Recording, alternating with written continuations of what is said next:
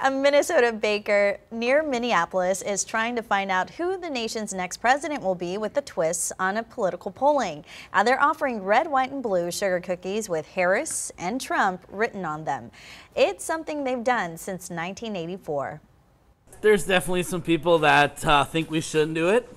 And, you know, there's also people that say that we love that we, you do it. So it's it can go either way. Uh, for us, at the end of the day, it's all about having fun. And in case you're wondering which cookie is selling more, the Trump cookies have been repeatedly restocked. Some good exit polling, right? yeah, right.